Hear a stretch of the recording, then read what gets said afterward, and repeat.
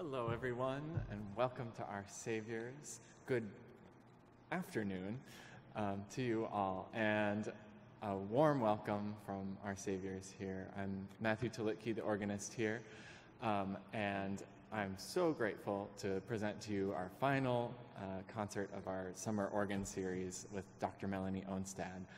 A couple um, announcements before we get started. Our lunch today, afterwards, directly afterwards, will be in the gathering place as usual this week. Um, last week it was not, but in, this week we'll be back in the gathering place, and we have um, roast beef sandwiches, green beans, and some delicious chocolate cherry tarts that I was very excited about, and mashed potatoes. So it smelled wonderful this morning. Um, and another note is we, we will take a free will offering as you exit. Um, so if you feel so inclined to help us continue this in years to come, um, donate what you wish as you exit. There will be an offering plate. So without further ado, I'd love to introduce Dr. Melanie Ohnstad. Um, she has been instrumental in um, my life as a church musician. I, internship, I did an internship with her at Westminster Presbyterian um, church in downtown Minneapolis, and I truly think that's when I decided that I was going to become a church musician. Um, and she served faithfully there for 24 years um, and has held numerous other leadership positions around the Twin Cities and given numerous recitals. So I'm so excited to present to you today Dr. Melanie Ohnstad.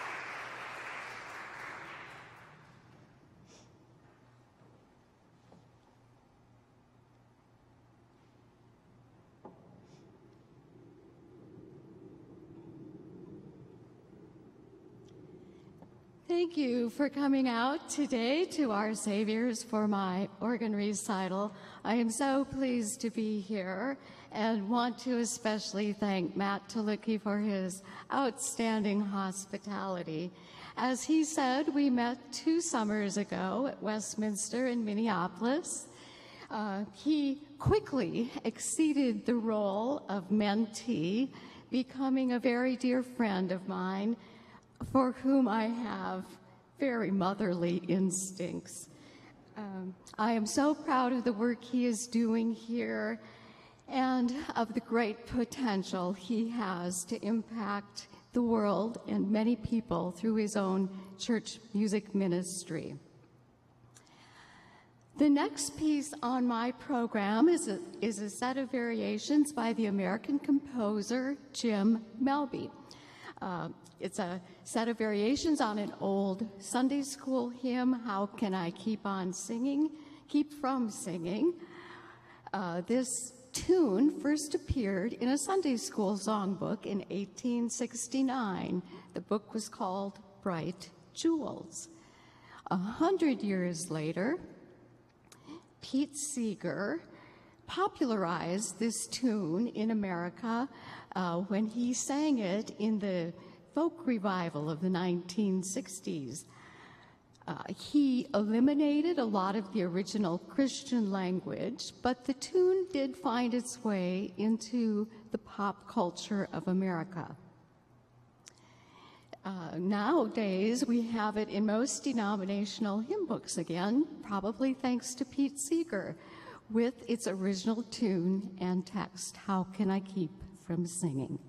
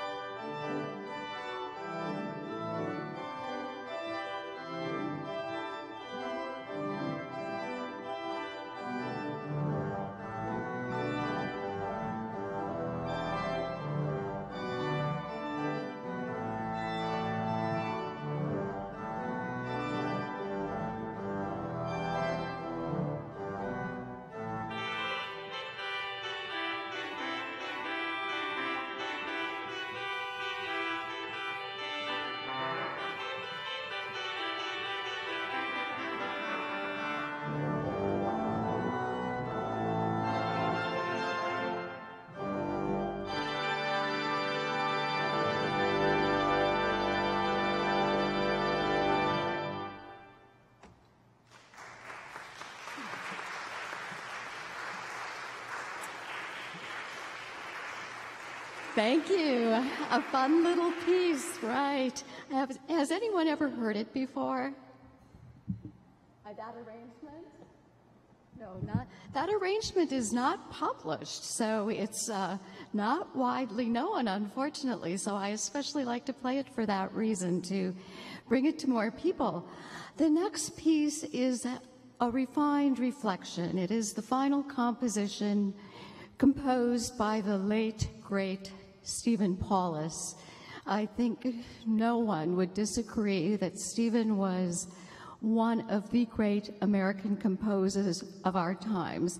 He wrote over 450 pieces for choir, organ, piano, guitar, orchestras, opera, band. Uh, this being his last was unique. Uh, he came back to the organ, but certainly not knowing it would be his last piece. Um, the final five bars were actually finished by the woman who commissioned the piece from Steve. And uh, because of his impending illness, he, he never heard uh, the ending for it, which you will today.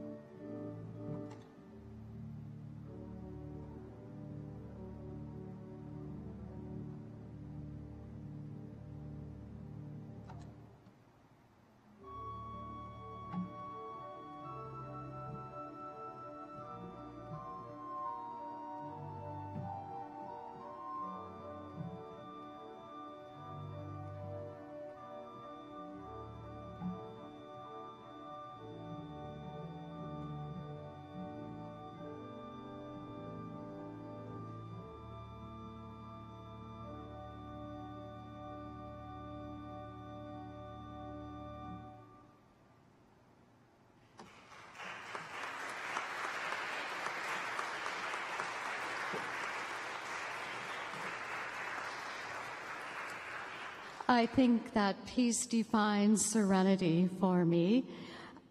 The next piece uh, is anything but serene. I, it's a quodlibet. It's a combination of tunes contrapuntally juxtaposed in a rather humorous way. Uh, John Weaver combined three different melodies the very familiar When the Saints Go Marching In, Ralph Vaughan Williams' monumental tune, For All the Saints. Sine, yeah, Sine Nomine. I, it left me for a second. Sine Nomine, um, For All the Saints. And then the third tune is a second setting of those same words, For All the Saints, but by the uh, Victorian composer Joseph Barnby. You will recognize early on that it is when the saints go marching in that rules the day.